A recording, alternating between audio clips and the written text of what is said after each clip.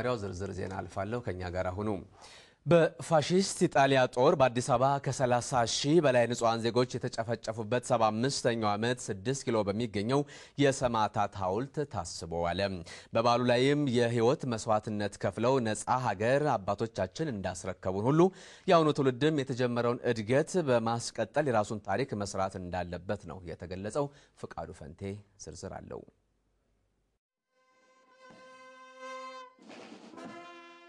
በ1928 ዓ ም የኢጣሊያ ፋሽስት ጦር በማናለብኝነት ተነሳስቶ ኢትዮጵያን ቢወርም የኢትዮጵያ አርበኞች ባደረጉት ተጋድሎ ወራሪው ጦር በከተማ ብቻ እንዲወሰን አስገድደውታል።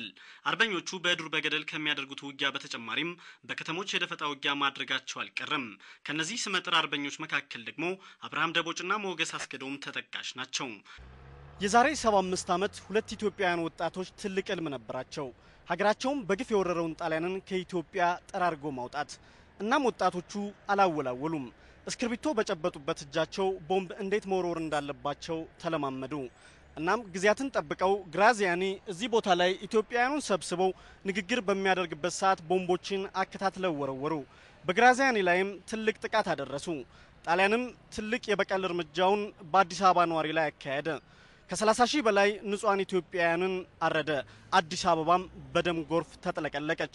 ከድል በኋላም ለእነዚህ ንጹሐን ዜጎች መታሰቢያ ይሆን ዘንድ ይህ ሐውልት ቆመ። በአዲስ አበባ በፋሽስት ጣሊያን የተጨፈጨፉ ንጹሐን ዜጎች በየዓመቱ የካቲት 12 ታስበው ይውላሉ።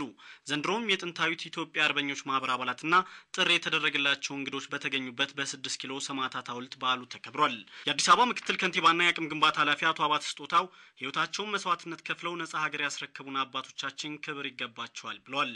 የዛሬው ትውልድም የተጀመረውን የሀገሪቱን እድገት በማስቀጠል የራሱን ታሪክ ሊሰራ እንደሚገባም አሳስበዋል። ታሪክ ቅብብሎች ነው። አሁን ያለው በእኛ በወጣቱ ትውልድ ላይ አሁን ባለው ነዋሪ ላይ ያለው ኃላፊነት አሳፋሪ የሆነውን ድህነታችንን ኋላ ቀርነታችንን የመዋጋት ኃላፊነት አለብን። የጥንታዊት ኢትዮጵያ አርበኞች ማህበር ፕሬዚዳንት ሊቀ ትጉሃን አስታጥቄ አባተ በበኩላቸው የአሁኑ ትውልድ ድህነትን ድል በማድረግ አባቶቹ በጦር ሜዳ ያሳዩትን ጀግንነት ሊደግመው ይገባል ብለዋል።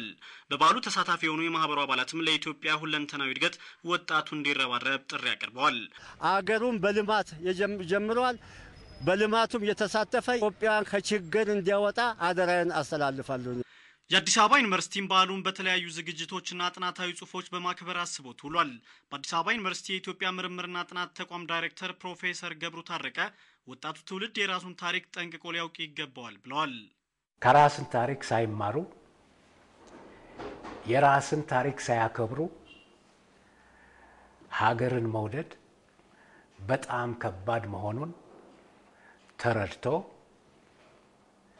የኢትዮጵያዊነት ምንነትን ተገንዝቦ ከአባቶቹ ከእናቶቹ ከእህቶቹ ያገኘውን የጀግንነት ቅርስ ማክበርና ዘለዓለማዊ ማድረግ ግዴታ አለበት። በዓሉም በሰማዕታት ሐውልት የመታሰቢያ የአበባ ጉንጉን በማስቀመጥ ተጠናቋል።